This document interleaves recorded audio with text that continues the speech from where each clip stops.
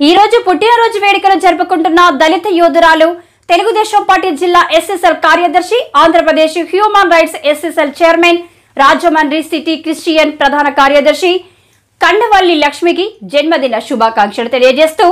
ఈ సందర్భంగా ఆమె డాక్టరేట్ అందుకున్నందున శుభ సందర్భంగా